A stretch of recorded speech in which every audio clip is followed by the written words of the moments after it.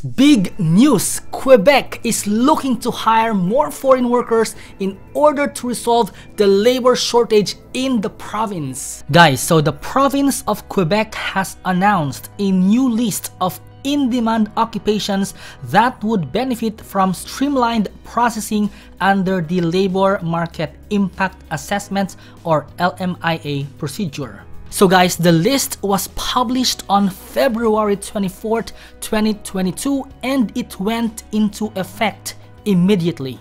So let me show you guys the list of in-demand occupations in Quebec for 2022. All you have to do is go to canadacareersite.com. I repeat, that's canadacareersite.com.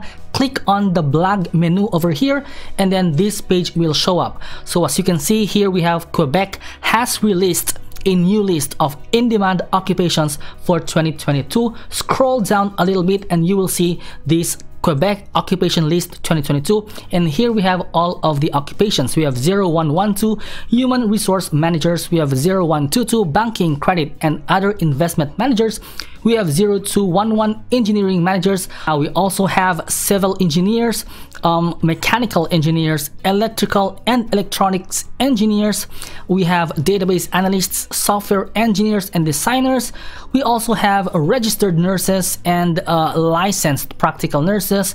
And then we also have heavy duty equipment mechanics, machine fitters. Simply click on each of these links over here and it will show up the list of jobs or occupations in this particular NOC code in Quebec. So guys, if you're looking for more jobs in Quebec, simply click on this link here for more jobs in Canada and to learn more about the Quebec Skilled Worker Program, simply click on this link right here.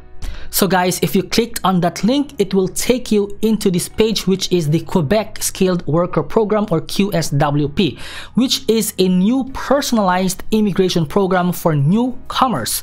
So new immigrants will be assigned an individualized action plan as part of Quebec's new integration services. Guys, as planned, Quebec is looking to bring in 52 1,000 immigrants by the year 2022, which is this year. So there's lots and lots of opportunities for people to immigrate to the province of Quebec. So guys, here is an educational video about the Quebec Skilled Worker Program, which you can find right by clicking on this button right here.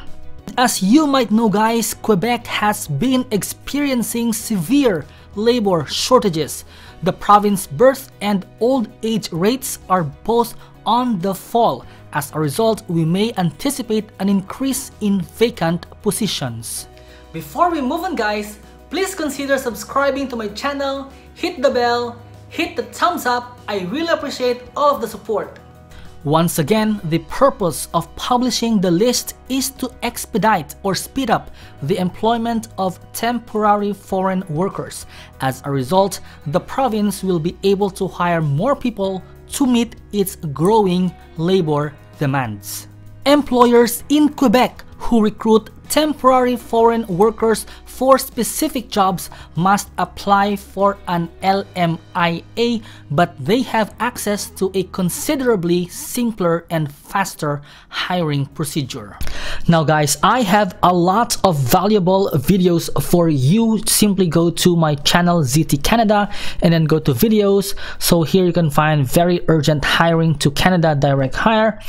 Uh, we also have here Canada's fastest immigration pathway and then we have 10 best places to live in Canada. We have a video on how to obtain your WES report and then we have top 8 easiest ways to immigrate to Canada. We also have the easiest and fastest way to immigrate to Canada through the AIPP. Guys, I invite you to go to my channel and subscribe and hit the notification bell so that you guys are notified as soon as I upload a new video. Guys, if you have any questions or concerns, don't hesitate to let us know at ztcanada.com forward slash book an appointment. I repeat, that is ztcanada canada.com forward slash book an appointment. Guys, if you received one, send us your Canadian job offer letter for verification and work permit or PR application. Send it to joboffer at ztcanada.com. I repeat, that's joboffer at ztcanada.com. Thank you so much guys for watching. If you have any questions, don't hesitate to write down in the comment section down below. If you guys haven't watched my previous videos about Express Entry, you can try going through these videos right here and I'll see you guys in my next video. Good luck.